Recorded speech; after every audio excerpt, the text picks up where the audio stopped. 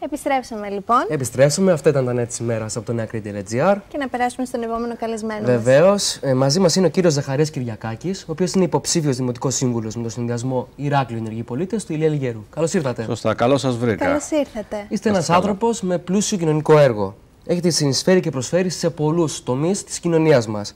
Πριν ξεκινήσουμε όμως την πολιτική μας συζήτηση, θα θέλετε να μας πείτε ενδεικτικά κάποια πράγματα για εσάς; Ενδεικτικά. Ε, βασικά να ξεκινήσω από την ε, ιδιότητά μου λόγω σπουδών. Είμαι κοινωνιολόγος. Έχω κάνει μεταπτυχιακές σπουδές στην κοινωνική και τεχνολογική ανάπτυξη. Ουσιαστικά δραστηριοποιούμε σε αυτό το κομμάτι. Ε, καθαρά είμαι από τους τυχερούς, από αυτούς που σπούδασαν και κατάφεραν να, να βρουν δουλειά και να ασχολούνται επαγγελματικά με αυτό που έχουν σπουδάσει. Και με αυτή την έννοια είμαι και τυχερός γιατί αγαπάω τη δουλειά μου και ίσως και αυτό να είναι και ένα στοιχείο το οποίο με βοηθάει στο να αποδώσω αυτό το κοινωνικό έργο τέλος πάντων που ευχαριστώ για τον καλό σας λόγο. Θεωρείτε ότι έχω προσφέρει. Είναι και το κλειδί της επιτυχίας που λέμε. Ε, σωστά. Το να αγαπάς αυτό που. Σωστά, σωστά. Πολύ βασικό. Πάρα πολύ βασικό. Τώρα, να σας πω ότι ουσιαστικά δραστηριοποιούμε στον χώρο των κοινωνικών προγραμμάτων. Ε, σαν κοινωνιολόγος, ε, αυτό που ε, προσπαθώ να κάνω είναι αυτό που κάνουν και όλοι οι συνάδελφοί μου. Δηλαδή, αφουγκραζόμαστε τα προβλήματα της κοινωνίας στο κομμάτι των αναγκών ε, των πολιτών και προσπαθούμε να ε, δώσουμε λύσεις σε, σε αυτού του είδους τα προβλήματα. Ε, εμένα η, η εστίασή μου ε, γίνεται μέσω των ευρωπαϊκών κυρίως προγραμμάτων, όπου προσπαθώ να βρω ε, πόρους, προγράμματα τα οποία να ταιριάζουν στις ανάγκες ε, τις διαπιστωμένες σε τοπικό επίπεδο και να μπορέσουμε έτσι να εκμεταλλευτούμε τους ευρωπαϊκούς πόρους ώστε να φέρουμε προγράμματα και δράσεις και να βοηθήσουμε τους συνανθρώπους μας που ουσιαστικά βρίσκονται έτσι σε μειονεκτική θέση και έχουν ανάγκη περισσότερη στήριξη και υποστήριξη. Πολύ σημαντικό αυτό. Πολύ σημαντικό ακριβώς. Να μιλήσουμε για τη σχέση σας με τον κύριο Λιγερό. Ναι. Σας επέλεξε, τον επιλέξατε; Ε, με επέλεξε και μάλιστα τον ταλαιπώρησα και λίγο, η αλήθεια είναι. Ε, γιατί έκανα περισσότερο από ένα μήνα για να του απαντήσω καταφατικά στην ε, τιμητική πρόσκληση που μου έκανε. Και αυτό όχι γιατί είχα ενδιασμούς ιδιαίτερα, Α, απλά ε, μέχρι σήμερα δεν είχα ασχοληθεί, δεν είχα εκτεθεί δημόσια. Ε, είμαι σε έναν χώρο που η δραστηριότητα μου, η επαγγελματική μου τρώει σχεδόν όλη την ημέρα και είχα ένα ενδιασμό μόνο στο κομμάτι αυτό εάν μπορώ και έχω χρόνο να προσφέρω σε αυτό που ε, θέλει ο Ηλίας Λιγερός και η παράταξή του, που θέλουν ουσιαστικά ανθρώπους οι οποίοι να είναι ειδικοί, εξειδικευμένοι ε, και να μπορεί ο καθένας να προσφέρει στο τομέα και στο πεδίο παρέμβασης της Δημοτικής Αρχής που έχει πάρα πολύ μεγάλο φάσμα παρέμβασης. Εμένα ο Ηλίας ο Λιγερός μου έκανε την πρόταση, ε, επειδή ακριβώς στο κοινωνικό κομμάτι, στον τομέα δηλαδή, της κοινωνικής πολιτικής, έχω αυτή την εξειδίκευση και την ε, εμπειρία γύρω στα 17-18 χρόνια τώρα.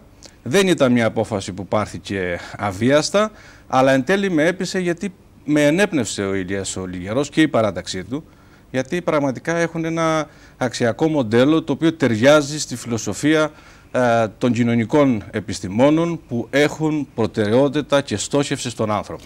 Θα θέλαμε λοιπόν να εμβαρθύνουμε σε αυτά τα κοινωνικά θέματα. Ποια είναι λοιπόν τα βασικά κοινωνικά προβλήματα που αντιμετωπίζει το Ηράκλειο; Και, άλλο μια υποερώτηση, μπορεί μια δημοτική αρχή να βοηθήσει στην λύση αυτών; Όχι μόνο μπορεί, αλλά και πρέπει. Μπορεί και πρέπει να βοηθήσει και ε, ειδικά ο, ο Δήμος σαν θεσμός, ο ίδιος, ε, είναι ο πρώτος ουσιαστικά θεσμός του κράτους, της ε, ευρύτερης κεντρικής εξουσίας που έρχεται σε επαφή με τα προβλήματα του δημότη και του πολίτη.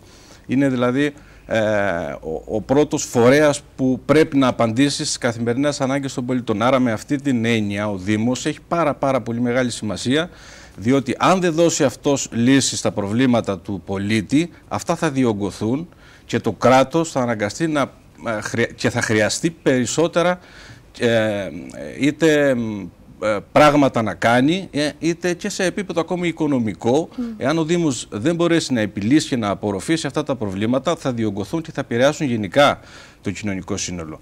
Ο Δήμος Ηρακλείου στο κομμάτι της κοινωνικής πολιτικής χρειάζεται δουλειά. Και χρειάζεται δουλειά δεν είμαι από αυτούς τους ανθρώπους που θα μηδενίσουν πράγματα που έχουν γίνει σε καμία των, περι... των περιπτώσεων. Όμως είμαι και άνθρωπος, όλοι όσοι με γνωρίζουν τουλάχιστον στο επαγγελματικό μου ε, τομέα, ξέρουν ότι δεν εφησυχάζω εύκολα. Ε, και δεν ευχαριστιέμαι και εύκολα. Αλλά το ξέρουν ότι είναι για καλό σκοπό. Με την έννοια ότι δεν πρέπει να, να είμαστε ευχαριστημένοι με αυτά που έχουμε. Πρέπει μονίμως να ψάχνουμε και να βρίσκουμε πράγματα τα οποία θα μας φέρουν σε ένα καλύτερο επίπεδο ζωής. Γιατί ουσιαστικά Ακριβώς. η κοινωνική πολιτική αυτό το σκοπό έχει. Να φτιάξει ένα, ένα πεδίο και ένα δίχτυ κοινωνικής προστασίας σε όλους τους ευάλωτους κοινωνικά συνανθρώπους, έτσι ώστε να μπορούν μέσα σε ένα προστατευμένο περιβάλλον, φανταστείτε σαν μια θερμοκοιτίδα, θα έλεγαν ε, οι γιατροί, ας πούμε, να, να είναι σε ένα προστατευμένο λοιπόν περιβάλλον οι άνθρωποι οι οποίοι δεν έχουν τι τις ίδιες ευκαιρίες και με, με όλους τους υπόλοιπους. Και νομίζω ότι στο κομμάτι της κοινωνικής πολιτικής στο Δήμο Ηρακλείου πρέπει να γίνουν πράγματα και στο κομμάτι με την τρίτη ηλικία και στο, κυρίως στο κομμάτι με τα άτομα με αναπηρία και τις οικογένειές τους. Και το λέω αυτό επειδή το τελευταίο διάστημα α, ασχολούμαι αποκλειστικά σχεδόν με αυτό το αντικείμενο. Ε, ο Δήμος Ηρακλείου δυστυχώς είναι ένας από τους ελάχιστους δήμους στην Ελλάδα, όχι μόνο στην Κρήτη, στην Ελλάδα, που δεν διαθέτει ένα κέντρο δημιουργικής απασχόλησης παιδιών με αναπηρία. Που είναι μια δομή πολύ βασική και κρίσιμη για τις οικογένειες, για τις μανάδες αυτών των παιδιών με αναπηρία που πρέπει να έχουν ένα α, μέρος να αφήσουν με ασφάλεια τα παιδιά τους να περάσουν δημιουργικά Σαφώς. την ώρα τους. Ε, δεν υπάρχει ένα κέντρο διημέρευσης και μερίσιας φροντίδας που να είναι υπό την εποπτεία ή την ε, διαχείριση του ίδιου του Δήμου. Ε, και εν έτη 2019 νομίζω ότι αυτά είναι πράγματα τα οποία θα έπρεπε να τα έχουμε λύσει και να μιλάμε τώρα για το πώς αυτές οι δομές μπορούν να εξελιχθούν καλύτερα, να παράγουν καλύτερα αποτελέσματα και να αυξηθούν και ποσοτικά αλλά και ε, ποιοτικά. Και όμως σήμερα συζητάμε για ένα Δήμο Ηρακλείου που δεν έχει δομές βασικές υποστήριξης παροχής υπηρεσιών σε άτομα με αναπηρία και τις οικογένειές τους. Και δυστυχώς το λυπηρό είναι ότι ε, υπάρχουν και υπήρξαν πόροι χρηματοδότησης από ευρωπαϊκούς πόρους. Δηλαδή δεν χρειάζεται καν να έχουμε δικά μας χρήματα. Πόσο μάλλον για ένα Δήμο Ηρακλείου που έχουμε τουλάχιστον αυτή τη χρονική περίοδο, από όσο λένε οι θύνοντες εκεί στα οικονομικά του Δήμου, υπάρχουν χρήματα στα ταμεία του Δήμου. Και εγώ, σαν κοινωνιολόγος, δεν μπορώ να το δεχτώ αυτό το πράγμα, το να υπάρχουν χρήματα στο ταμείο του Δήμου. Να μην που ο Δήμος εξοφλούνται. δεν είναι μια ε, ανώνυμη εταιρεία, δεν είναι μια εταιρεία που έχει σκοπό το κέρδος. Είναι μια ε, ε, οργάνωση, να το πούμε έτσι, η Είναι οποία θα ένας πρέπει οργανισμός. αυτά που θα πάρει να τα αποδώσει πίσω στους δημότες. Τα μέγιστα. βέβαια. Ακριβώς. Ε, μεταξύ άλλων συμμετείχατε και σε ένα διακρατικό πρόγραμμα το οποίο είχε τίτλο «Η λήψη των, αποφάσεων, των πολιτικών αποφάσεων στις γυναίκες». Μμμ. Με αφορμή αυτό και σίγουρα θα γνωρίζετε κάποια πράγματα, η δική σας άποψη για την ενισχυμένη παρουσία των γυναικών στις εκλογές αυτές ποια είναι; Καταρχήν, ε, θα έπρεπε αυτό να μην γίνει ε, με ένα νομικό πλαίσιο και αναγκαστικά, ας το πούμε έτσι. Θα Όχι, έπρεπε είναι έτσι και αλλιώς ε, να συμβαίνει χωρίς αυτό να πρέπει να έρθει από πάνω προς τα κάτω με μια νομοθετική παρέμβαση. Ε, όμως ε, νομίζω ότι συνέβη όχι γιατί οι γυναίκες μειονεκτούν σε καμία των περιπτώσεων. Ίσα ίσα που το γυναικείο μυαλό πολλές φορές όλοι το λένε, για να το λένε όλοι κάποιο δίκιο υπάρχει σε αυτό. Είναι ικανό για πολλά και πολύ περισσότερα α, πράγματα. Αλλά πιθανότατα επειδή ακριβώς η γυναίκα έχει περισσότερους ρόλους από ότι ένας άνδρας, έχει και το ρόλο της μητέρας, της νοικοκυράς και πιθανόν να μην έχει χρόνο να ασχοληθεί με τα κοινά, γι' αυτό πιθανόν, όχι πιθανόν, γι' αυτό α, υπήρξε αυτή η αναγκαστική ποσόστοση στους συνδυασμούς και σε αυτοδιοικητικό επίπεδο και σε εθνικό επίπεδο. Ε, οι, γυναίκα, οι γυναίκες πρέπει να είναι ενεργές στα πολιτικά και στην αυτοδιοίκηση και σε, σε επίπεδο βουλευτικών ή εθνικών εκλογών γιατί πολύ απλά είναι κομμάτι της κοινωνίας. Ακριβώς. Ε, μπορεί το Ηράκλειο να μην διαθέτει κέντρο δημήρευσης και φροντίδας άτομων με ειδικές ανάγκες. Παρ' όλα αυτά έχει στο θραψανό του Δήμου Μινάου Παιδιάδο και μάλιστα, και μάλιστα, όπως διάβασα στο βερεφικό σας, είστε εσείς ο υπεύθυνος γι' αυτό. Και είναι διευθυντή, αν δεν κάνω λάθος. Ε, ναι, είμαι στο διοικητικός Μαλεβίζη. διευθυντής Και στο στο, Μαλεβίζη. στο Σωματείο Δικαίωμα στη Ζωή που διαθέτει δύο κέντρα διημέρευσης και ημερήσιας φροντίδας ατόμων με αναπηρία. Αυτά τα κέντρα είναι προϊόν συλλογικής δουλειάς ανθρώπων οι οποίοι πραγματικά ε, έχοντας την αγωνία για το πώς θα μπορέσουν να παρέχουν υπηρεσίες και ένα καλύτερο μέλλον και αύριο για τα παιδιά τους εξαιτίας της απουσίας του κεντρικού κράτους, γιατί να ξέρετε ότι ο ιδιωτικός τομέας έρχεται πάντα και μπαίνει και βάζει το χέρι του και το πόδι του εκεί που το κράτος το επιτρέπει. Γιατί αν υπήρχε, υπήρχε από το κράτος και την πολιτεία η μέρημνα ε, και ο σεβασμός στα δικαιώματα των ατόμων με αναπηρία και να τους παρήχει αυτά που θα έπρεπε να τους παρέχει, δεν θα υπήρχε λόγος ούτε να υπάρχουν τα σωματεία γονέων και κηδεμόνων, ούτε και ε, ιδιωτικές εταιρείες ή τέλος πάντων ιδιώτες που να μπαίνουν στο χώρο αυτό να παρέχουν υπηρεσίες.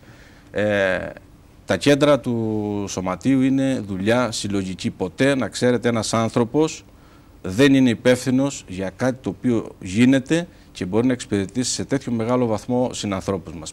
Μπορεί να είναι κάποιος μπροστάρης σε μια διαδικασία, αλλά αν δεν έχει βοήθεια, αν δεν έχει στήριξη και αν πολλοί άνθρωποι δεν πιστέψουν σε κάτι, δεν πρόκειται ποτέ ένας άνθρωπος να κάνει μια δομή από μόνος του.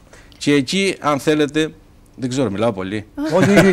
ε, εκεί, αν θέλετε, είναι και ένα, ένα θέμα που πρέπει να δούμε την επόμενη μέρα των εκλογών, ανεξάρτητα ποιος θα βγει στο Δήμο Ηρακλείου, γιατί έτσι κι αλλιώς με την απλή αναλογική η συνεργασία και η συνέργεια είναι επιβεβλημένη και αυτό το έχουν καταλάβει όλοι και γι' αυτό και είναι όλοι πολύ ήπιοι στις τηλεοπτικές ναι, ναι, ναι, ναι, ναι, αυτό το παρατηρούμε κι εμείς.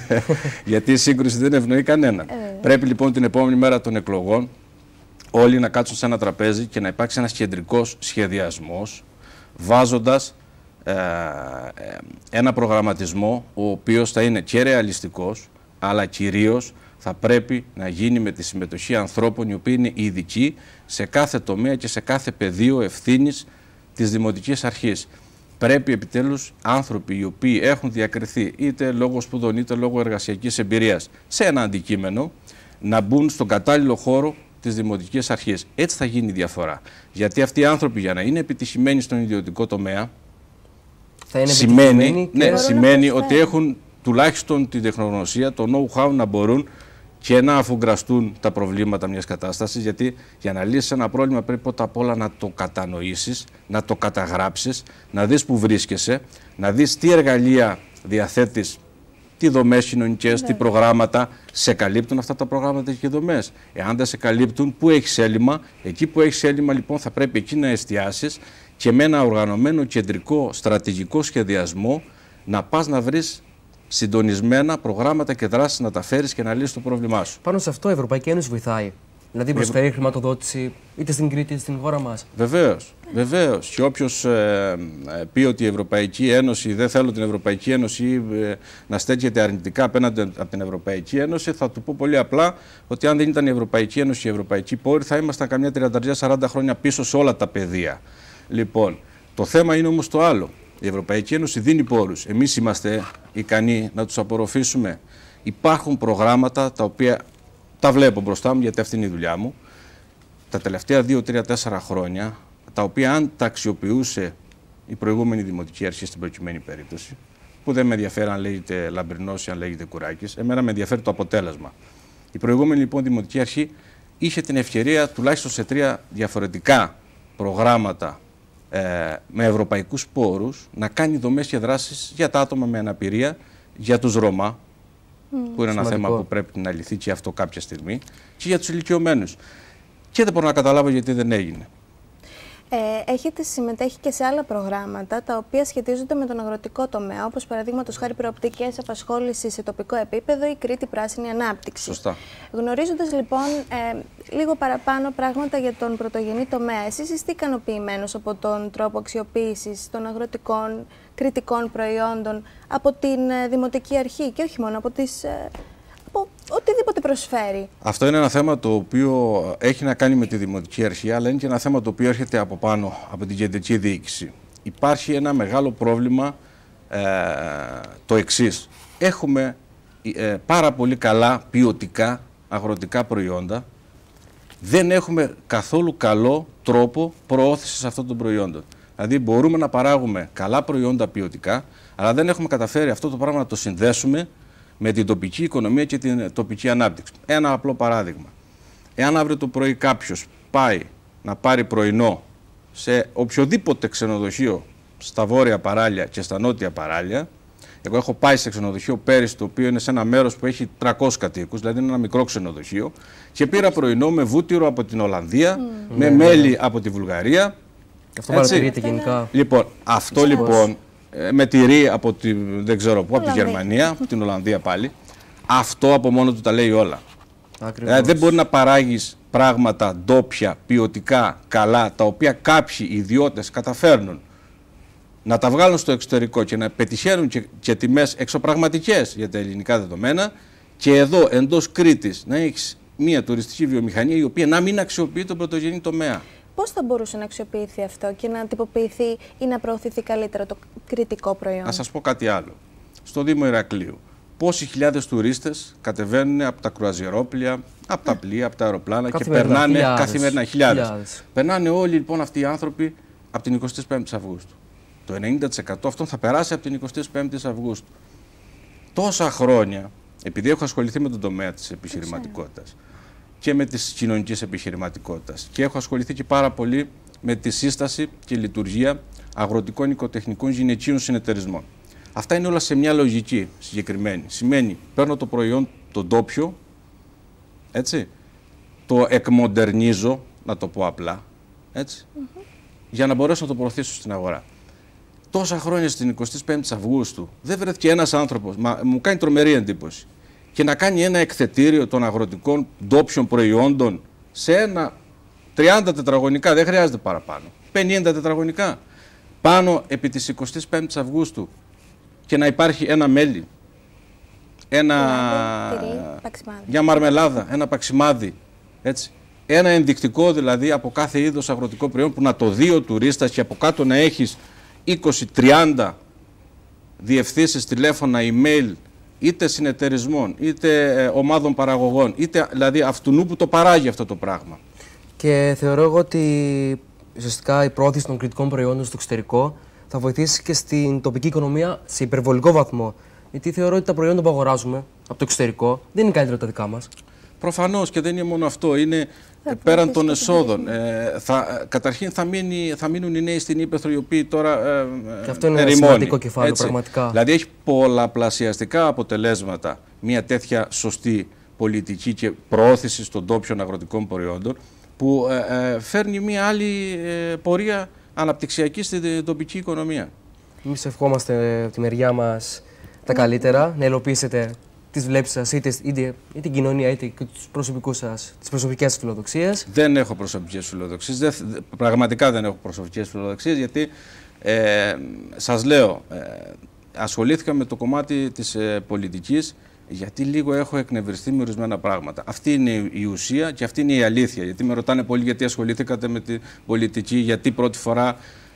Αυτό που μπορεί να πω δημόσια μπορεί να ήταν κάτι διαφορετικό. Αυτό που λέω στους φίλους και στους γνωστούς μου είναι αυτό που σας λέω τώρα και μπορεί να κάνω κακά που το λέω δημόσια, αλλά έχω εκνευριστεί με κάποια πράγματα. Όχι, όχι. Μια χαρά το κάνετε και σημαντικό είναι όταν μας ενοχλεί κάτι να παίρνουμε θέση και να προσπαθούμε να το αλλάξουμε. Νομίζω ότι Ακριβώς. πρέπει να είμαστε ενεργοί πολίτες, όπως είναι και ο τίτλος της παράταξής μας, ενεργοί στην καθημερινότητά μας, γιατί μόνο έτσι θα μπορέσουμε να αλλάξουμε τα πράγματα προς το καλύτερο. Και αν δεν το κάνουμε, δεν πρέπει μετά να παραπονιόμαστε. Η ευθύνη θα είναι δική μας. Το σημαντικό είναι ότι δείχνετε και την αγάπη και προς τον άνθρωπο και προς την πόλη. Σας είναι ιδιαίτερα ευχαριστούμε πάρα σημαντικό. πολύ, Να κύριε είστε καλά, εγώ Κυριακάκη. ευχαριστώ. Καλή Να είστε καλή επιτυχία και επιτυχία. Να έχουμε καλή ένα δύναμη. καλό και δημοκρατικό αγώνα όλοι. Το ευχόμαστε. Να είστε καλά. Εμείς να σας πούμε καλό απόγευμα λοιπόν για σήμερα.